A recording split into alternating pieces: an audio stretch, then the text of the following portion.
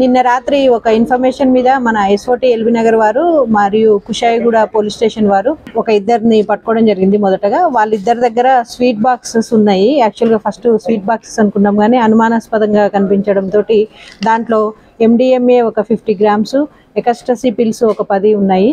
వీళ్ళిద్దరు కూడా ముంబైలో వర్క్ చేస్తూ ఉన్నారు. వాళ్ళిద్దరి పేర్లు మనకు పొనుగుపాటి మను ప్రశాంత్ వరికుప్పల రిత్విక్ రాజు. వీళ్ళిద్దరు కూడా చాలా కాలం నుంచి ముంబైలో వర్క్ చేస్తూ డ్రగ్స్కి అలవాటు పడి ఉన్నారు. అక్కడ పెడ్లర్స్గా వ్యవహరిస్తూ ఉన్నారు. ఈ రుత్విక్ రాజ్ అనే అతను మన కుషాయగూడ ప్రాంతానికి చెందినవాడు. ఇతనికి ఇద్దరు దోస్తులు ఉన్నారు ఇక్కడ. షేక్ ఉమర్ ఫరూక్ మరియు ఆనంద్ మాతే. వీళ్ళు కూడా డ్రగ్స్కి అలవాటయ్యి ఉన్నారు. ఇతను వరికుప్పల రుత్విక్ రాజ్ మీద అంతకుముందు మనకు నేరేడ్మెట్ పోలీస్ స్టేషన్లో కూడా ఒక కేసు ఉంది ప్రీవియస్గా ఇతని మీద షేక్ ఉమర్ మీద కూడా రేవ్ పార్టీకి సంబంధించి ఒక కేసు రిజిస్టర్ అయ్యింది వీళ్ళని పట్టుకొని మనం వెరిఫై చేస్తే వీళ్ళిద్దరు కూడా పెడ్లర్స్గా వ్యవహరిస్తున్నారు.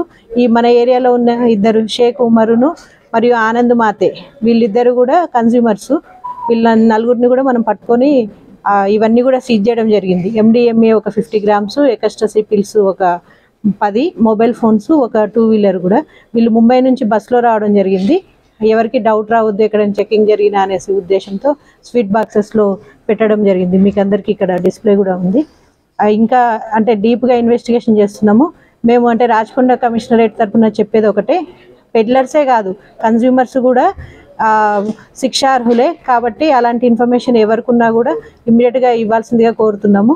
కాలంగా ముంబైలో ఈ సినిమా ఇండస్ట్రీలో టెక్నీషియన్గా పనిచేస్తున్నాడు అతనికి డ్రగ్ అడిక్ట్ అయిపోయి అక్కడ ఈ ప్రశాంత్ దగ్గర అతని ఫ్రెండ్ అయ్యి ప్రశాంత్ దగ్గర నుంచి తీసుకొని ఇక్కడ మనకు ఆయనకు ఉండే సోర్స్ ద్వారా ఎవరైతే ఫ్రెండ్స్ ఉన్నారో ఆ ఫ్రెండ్ సర్కిల్లో ఎక్కువ ధరకు అమ్ముతున్నాడు దాంతో ఇక్కడికి ఆ డ్రగ్ తీసుకొని రావడం జరిగింది.